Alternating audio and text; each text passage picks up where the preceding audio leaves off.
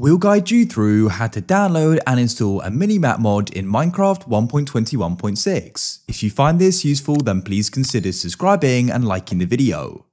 Doing this is really convenient as you can then go and have a little map in the top of your screen.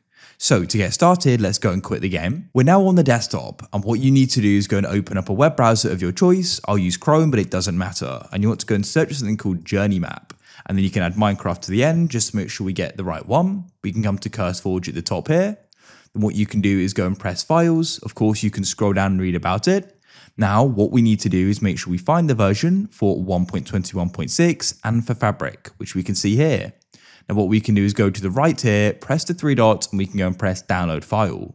Now go and wait for this to download. We now have it, and what we need next is a mod loader. So we went and got JourneyMap for Fabric, so we need to go and get Minecraft Fabric, which allows us to load mods. So search for it and come to fabricmc.net.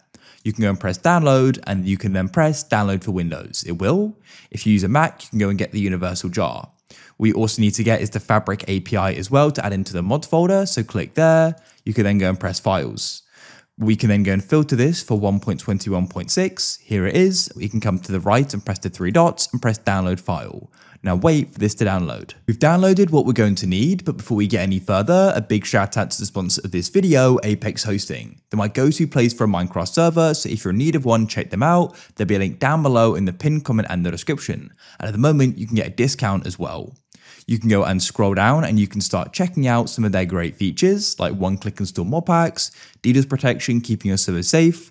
One of my favorites is 24 7 servers and support, meaning you can get help anytime you need it for your always online server. There are many others as well, which you can go and check out.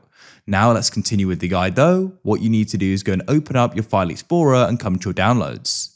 So to get started, we're going to install Fabric. So find the installer and double click on it.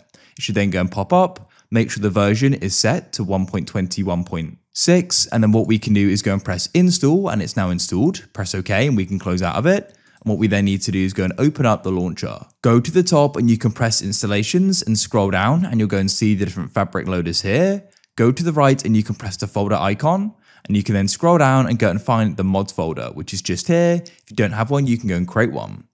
Now, what we need to do is we need to come into our file explorer and come to our downloads drag in the Fabric API, and you can also drag in JourneyMap as well, and you can then go and close out of your file explorers.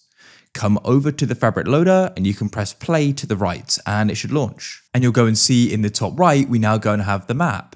If we go and press J, we'll go and get this pop up here. And you've got lots of different options at the top here you can go and use and more at the bottom as well. For example, options, and there's lots of different things you can go and adjust. So go through it and you can configure it. But personally, I just like to go and have it in the top right while I go and explore.